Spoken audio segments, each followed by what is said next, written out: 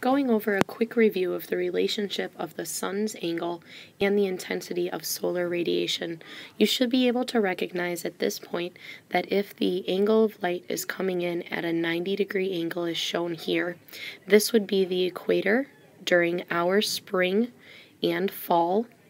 This would be the most direct angle of sunlight at 23.5 degrees north during the first day of our summer and 23.5 degrees south during the first day of our winter. As you move from the location of the most direct sunlight, the sunlight is coming in at a lesser angle, such as here you can see at 45 degrees, or at places like the North and South Pole at a 30 degree angle or less.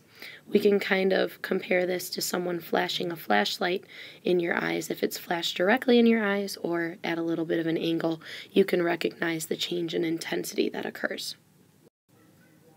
So, from that, we know now that the seasons are actually caused by the Earth's changing orientation to the sun.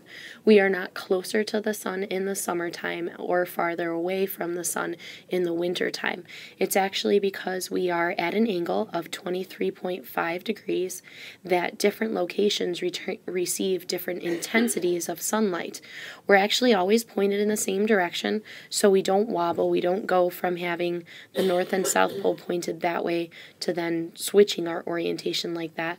We're actually always in this direction, and then if this was our sun and we revolve around that sun, when we came over to this side, we'd still have the North Pole pointing in this direction and the South Pole pointing in this direction. We don't switch. So this gives you an overall view of the relationship of the Earth to the Sun.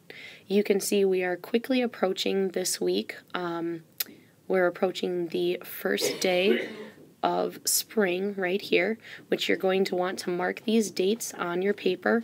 March 21st to 22nd is approximately the day when the equator receives the most direct sunlight. Um, during the fall, the first day of fall, September 22nd to 23rd, the equator again gets that most direct sunlight. You can see um, as we approach summer here, June would be the dates uh, June 21st to 22nd.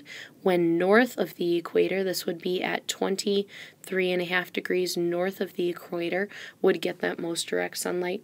And then in the wintertime, it would be 23 and a half degrees south of the equator, and those dates are December 21st to 22nd approximately. You should also have an idea at this point of how many hours of sunlight each of the different locations receive due to the change in the angle of insolation that that area is receiving. So just like in our lab, if it is um, spring or fall, the first day of spring or the first day of fall, you can see here that every place on the planet is going to receive 12 hours of sunlight because no hemisphere is tilted toward or away from the uh, lights, the rays of the sun. Here for summer, and this winter should be over here you can see that. And it makes sense in summertime, our days tend to get longer, so we see greater than 12 hours of sunlight during our summertime. And in our wintertime, we have shorter days, so you can see we only have about 9 to 10 and a half hours of sunlight in the wintertime.